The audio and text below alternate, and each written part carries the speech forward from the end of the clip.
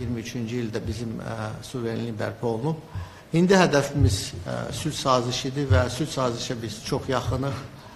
Artıq hər iki tərəfdən ə, müvafiq şərtləri siz eşitmisiniz. Hansı bir möhlət demək, hansı bir dəqiq tarix demək çox çətindir. Vaxtilə may ayında mən də yadımda Real TV-də idim. Məndən soruşanda ki, nə vaxt imzalanacaq? Mən demişdim, bu yaxınlarda imzalanmasını gözləməliyik. Hətta Kişinyovda söhbət gedirdi. Ona görə ə, bu hansı bir deadline belə deyək və yaxud dəqiq tarixi demək çox çətindir. Ona görə ki, müxtəlif faktorlar var. Amma görünən odur ki, ən əsas mübahisəli məsələlər demək olar ki, sıfıra enib.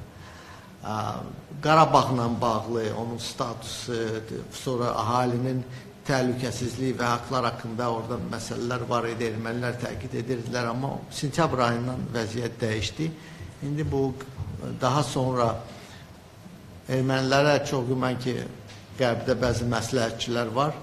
Demişdilər ki, ora ə, qaçqınların qayıtması məsələsini əks, ə, orada əks, əks olunsun.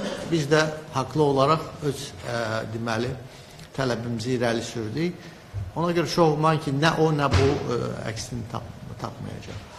Ə, Demarkasiya, delimitasiya ilə bağlı bu ümumiyyətlə uzun bir prosesdir. Ə, Sənədin ə, sənədə daxil olunmayacaq.